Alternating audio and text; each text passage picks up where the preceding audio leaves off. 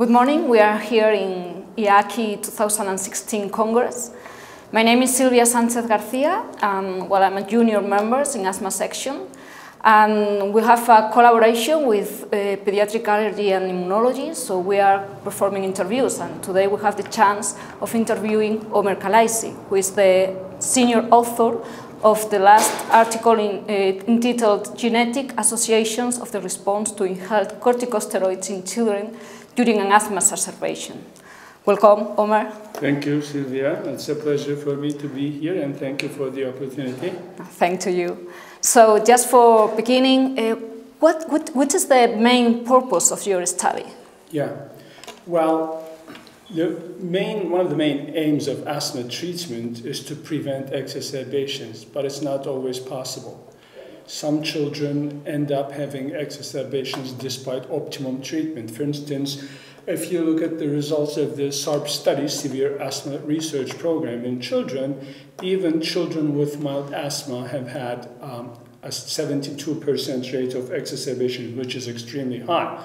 So no matter what you do, we end up treating exacerbations in children. And currently, the guidelines recommend the use of uh, systemic corticosteroids for treating exacerbations. Of course, in children with severe asthma or in some children um, who have frequent exacerbations, then the frequent use of systemic corticosteroids may be associated with adverse events.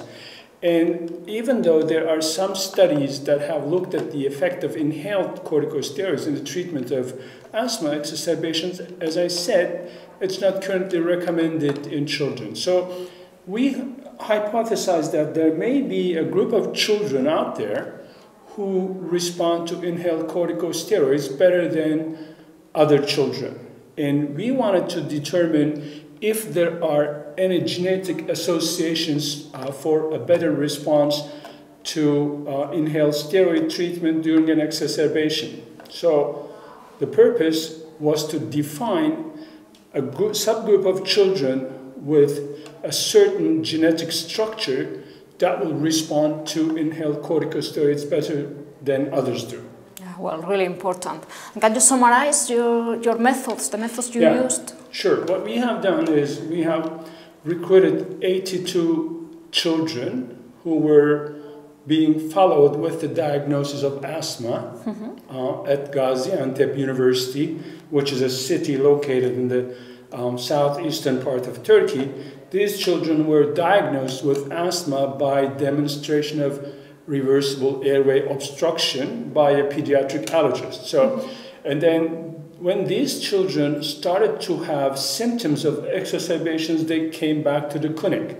They were evaluated, their um, oxygen was measured, their FEV1, most importantly, was measured, and then the children were treated with 4,000 micrograms of fluticasone, single dose, with, together with three doses of uh, salbutamol. And then a decision was made whether to admit or discharge these children. All children responded uh, more or less, and nobody was admitted. And then these children were instructed to continue fluticasone for another week, mm -hmm. and then they came back. Our primary outcome measure was the FEV1 response at four hours. And then mm, we, after the completion of this study, these children were genotyped in a total of uh, eight SNPs, single nucleotide polymorphisms, and five molecules. And then the FEV1 response at four hours were evaluated according to the genotype of the patients. The, the molecules um, we determined the molecules by looking at the medical literature and found, we found that there were a couple of molecules who were associated with a better response to corticosteroids. So we took the SNPs and these molecules, so they were a priori described molecules. And eight SNPs and five molecules, and then we analyzed results according to the genotype in these molecules. And so the, finally, we found that one SNP in one molecule, which is NR3C1 is associated with a better response to inhaled corticosteroids. There were um, two alleles, G and C, the children who were homozygous for the G allele. I mean, those who had GG on both chromosomes had a much better response to inhaled fluticasone compared to those who possessed C allele either in homozygous or heterozygous state.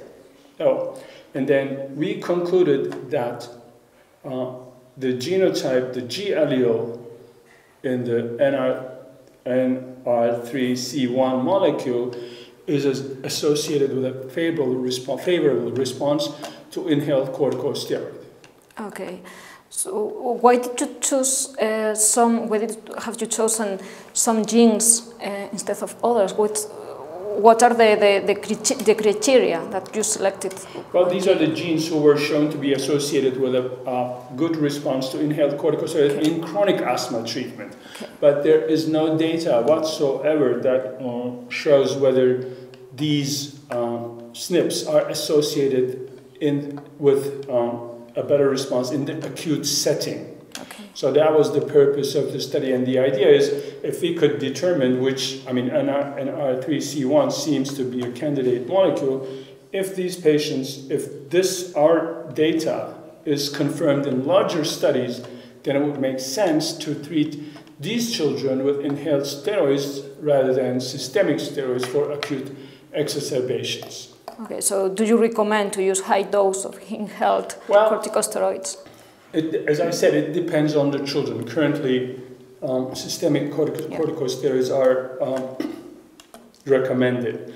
But we, I believe that there are some children who are good candidates, and NR3C1 may be a, a, a good molecule for this because it's physiologically it makes sense for two reasons. Number one, its function is that it's a glucocorticoid receptor located in the cytoplasm. When the glucocorticoid goes into the cell, then this, um, together with the receptor, they are transferred to the nucleus. Mm -hmm. So it can function as a transcription factor itself because it binds to glucocorticoid response elements, and in addition, it can modify the transcription, other transcription factors.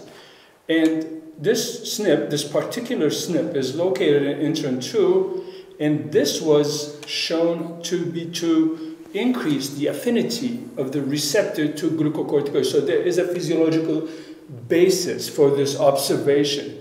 But um, I think this finding needs to be confirmed in larger studies. And if that happens, I think that's going to take the treatment of acute asthma exacerbation in children to another dimension. Okay, thank you very much. So just to summarize, one sentence or two sentences as take-home message for take the audience? Take-home message is um, some genetic variations can be associated with a better response to inhaled corticosteroids in children with asthma exacerbation, but um, this remains, NR3C1 is a candidate. This needs to be confirmed in larger studies. Okay, thank you very much and congratulations for your job. Thank you very much to you as well.